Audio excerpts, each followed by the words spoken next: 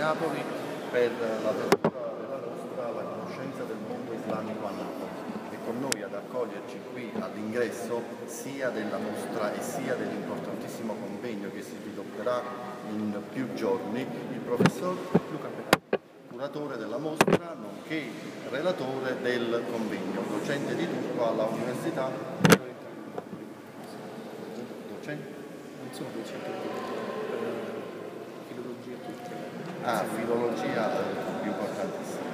Eh, professore, la selezione dei volumi fatti, eh, avete trovato materiale atto e valido per poter rendere, eh, mettere su questa mostra? Certo, certo, qui la Biblioteca di Napoli ospita all'incirca 150 manoscritti arabi e eh, 40 e più manoscritti turchi e soprattutto 20 manoscritti persiani di grandissimo. Vuole essere così gentile da presentarci il... Abbiamo il dottor Vincenzo Boni che ha collaborato. Piacere, saluti, ben trovato. Ramsì della sezione manoscritti, ho collaborato ovviamente con questo operato, questa mostra molto particolare a cui tenevamo molto, a dire la verità, e che pensavamo di mettere sulla variante. Quindi mi permetto di far notare al nostro pubblico della penisola sorrentina e amalfitana un, non solo sorrentina e amalfitana, ma un po' in genere un ulteriore partenariato tra una istituzione universitaria e tra la biblioteca.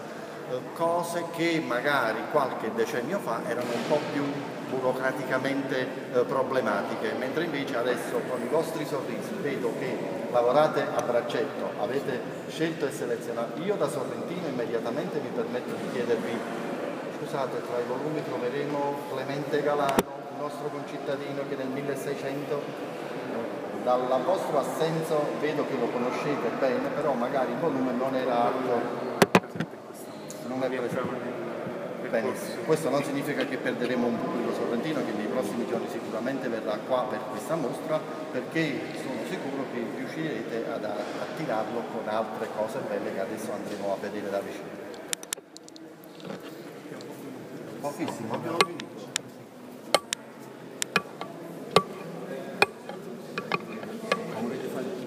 Certo, certo.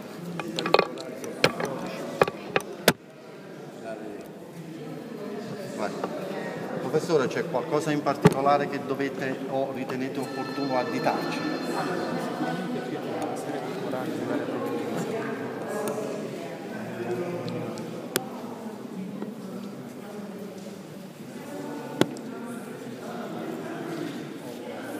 Persiane, miniato, alcune, quello che si conosciamo me, un libro sì, miniato nello stile della scuola di Shiraz.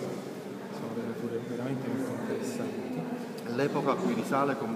Allora, questo è del XV secolo, XVI secolo. una miniatura eccezionale, Sì. eh, diciamo sotto l'aspetto tecnico molto distante dai nostri, Certo, i nostri canoni i nostri canoni estetici. Eh, ancora, vedo che insomma, vi siete preoccupati che la mostra l'avete resa fruibile immediatamente senza necessità di interfaccia, senza guida, senza accompagnatore perché i pannelli esplicativi ci portano dentro. Per quello che è possibile abbiamo cercato di aiutare il visitatore in tutte le maniere per poter usufruire liberamente della mostra, poi ovviamente ci saranno delle attività nei prossimi giorni, abbiamo anche Sapete dirmi gli orari e gli appuntamenti? Noi siamo aperti, siamo aperti praticamente in tutte le ore in cui la biblioteca è aperta, cioè nella mattina. In realtà facciamo dalle 8 e mezza fino alle 7 di sera, la mostra in realtà è fruibile, eccetto il sabato. Fino a quando? Per 15 giorni, fino al 30 settembre. Quindi fino al 30 settembre c'è E questa sarebbe anche, vorrei anche aggiungere che domenica prossima in via eccezionale noi saremo aperti. Ah, ah, ah. C'è anche la possibilità di poter vedere la mostra domenica prossima. È un'importante piccola chicca di- in anteprima, la domenica aperta la biblioteca per questa mostra non è poco. Vi ringraziamo, ci rivediamo al convegno nella parte interna della, da... Sì, giusto un attimo, volevo...